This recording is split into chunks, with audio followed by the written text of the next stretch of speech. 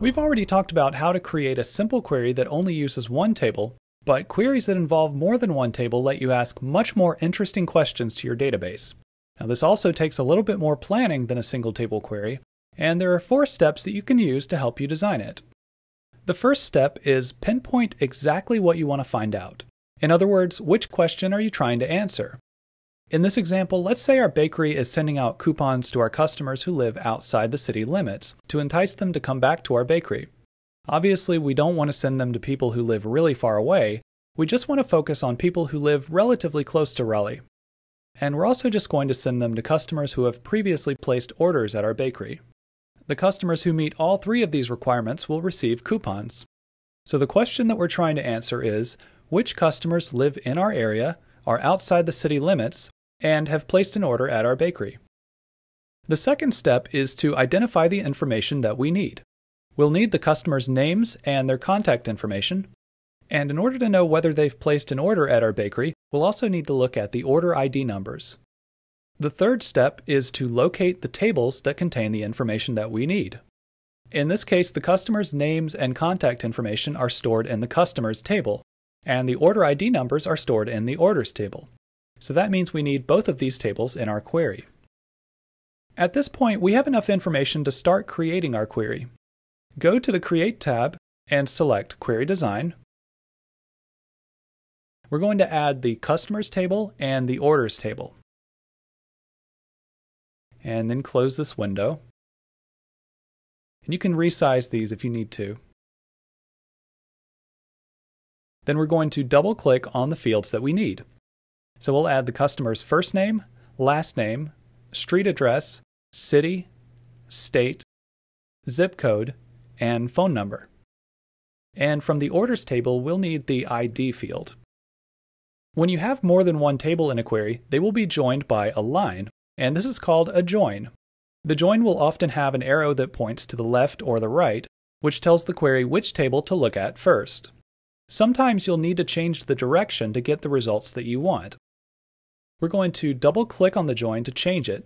And we want to select the third option, which says Include all records from the orders table.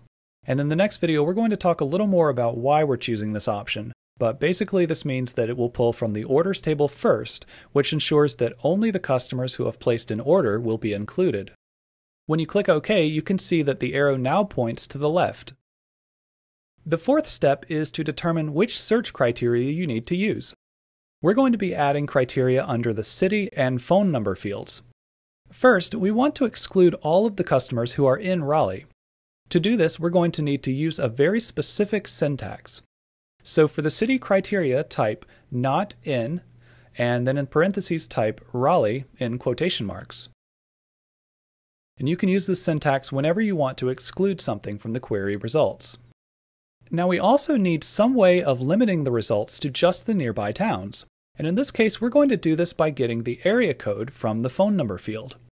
The 919 area code covers Raleigh and a number of nearby cities and towns, so this should give us a pretty good range. We'll need to use a syntax that looks at the beginning of each phone number. So type like and in parentheses type quote 919 asterisk end quote. The asterisk means that any phone number can come after the 919 area code. And there are many other syntaxes that you can use, and in the next video we'll look at a few other examples of these. Now in this case we're putting the criteria on the same row because we want the customers to meet both of these criteria. If they just meet one of the criteria, then they're not going to be included in the query results. If we needed them to meet one or the other, then we would put one of these criteria on the next row. This query is finished now, so we can run it to see the results. And you can see that each customer meets both criteria. They are not from Raleigh, and their phone numbers begin with 919. So generally, more complex queries require more planning. But you can make it a lot easier by just following the four steps of pinpointing exactly what you want to find out, identifying the information that you need, locating the tables that contain the information, and determining exactly what criteria you need. And in the next video, we're going to look at joins and search criteria in a little bit more detail. Like what you just saw? Rate it. Add a comment. Subscribe to our channel. the freedom to learn. What you want, when you want. Absolutely free. GCF learnfree.org.